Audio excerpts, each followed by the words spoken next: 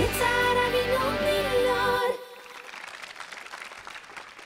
Revenim cu o poveste care e mai mult impresionantă decât amuzantă. Ați auzit de documentarul pe nume 120 de mii? Ați auzit? Tu ai auzit, da, Dana? am auzit, l-am și văzut. Bravo! Acest documentar povestește despre soarta refugiaților uh, sirieni în Iordania, care locuiesc în tabăra numită Zatari. Dacă ați auzit, bravo vouă, bravo ție. Dacă nu, am o întrebare pentru voi. Cine credeți că a realizat imaginile care urmează?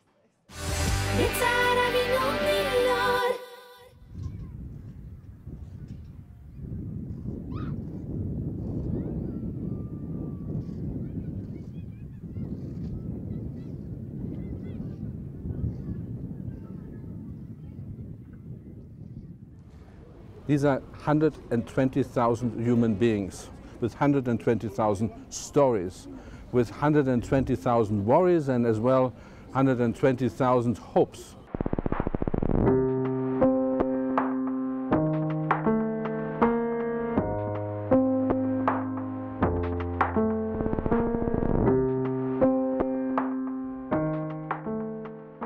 Two million, two million Syrians have left Syria and are somewhere.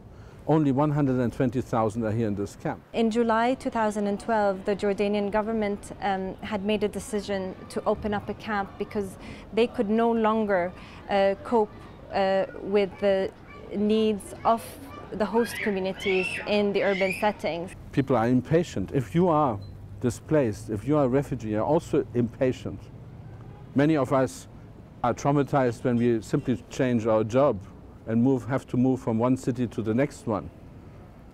Here we have people who have really lost everything and are rebuilding, in fact, a home away from home. And of course, if you put 100,000 people into a relatively small space, um, it becomes de facto a city. We have over 680 shops, which we have counted so far, with businesses which go with uh, internet cafes, which go to, I mean, uh, photocopy shops, uh, and many, many activities uh, which go even beyond the normal, let's say, um, survival. I mean, uh, quite often interesting, important for women or for, for, for girls. They have opportunities which they would not possibly find within, within their tight societies in a, in a village. كونك ممرضة واشتغلت في المشافي شو شفت قبل ما تيجي للأردن؟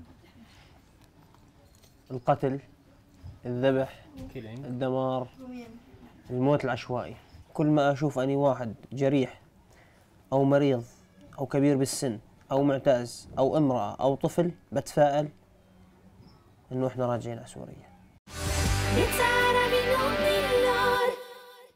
Ei, cine credeți că a făcut uh, acest film?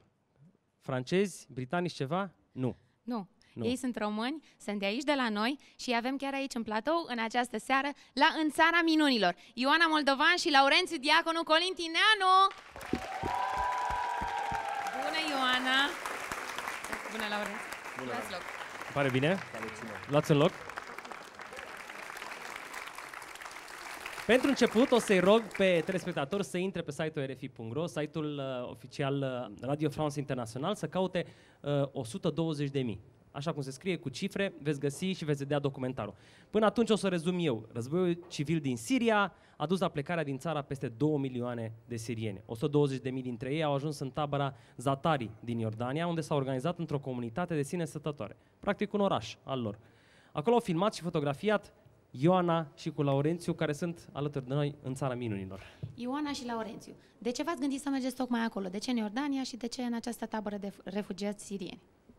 Bine, subiectul și ideea ne-a venit pentru că am vrut să, să documentăm și să relatăm despre un fenomen care, din păcate, în peisajul mediatic românesc se rezumă, în cel mai bun caz, la niște știri uh, seci, foarte multe cifre, foarte multă politică internațională, care este foarte importantă de altfel pentru că trăim pe lumea aceasta și ea e dominată de politică.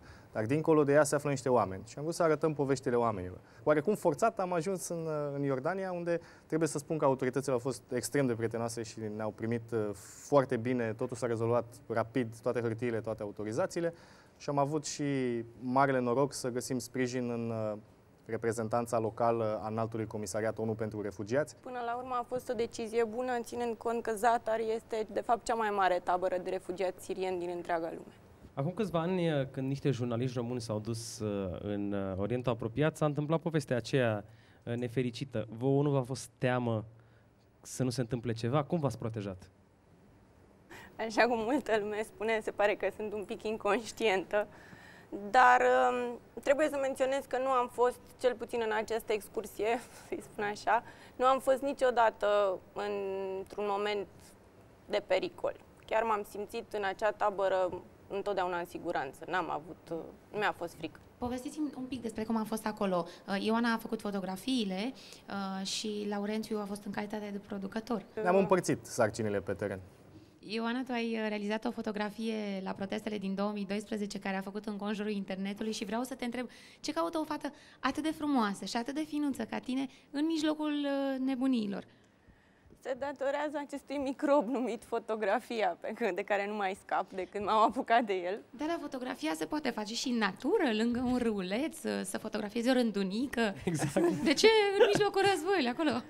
Pentru că sunt diverse genuri de fotografie și fiecare se simte mai mult sau mai puțin atras de unul dintre ele. Eu, de când m-am apucat, uh, m-am simțit atrasă de fotografie de stradă, de oameni. Care este următoarea destinație? Ah, acum trebuie să dăm Un din război casă. ceva? Acum trebuie să dăm din casă. Nu, dar suntem în apropierea lui. Uh, următoarea destinație este Libanul. Vă felicit, am fost foarte impresionată de primul film pe care l-ați făcut și abia aștept să vă întoarceți cu bine acasă din Liban. Mulțumesc că ați venit în țara minunilor. Bine.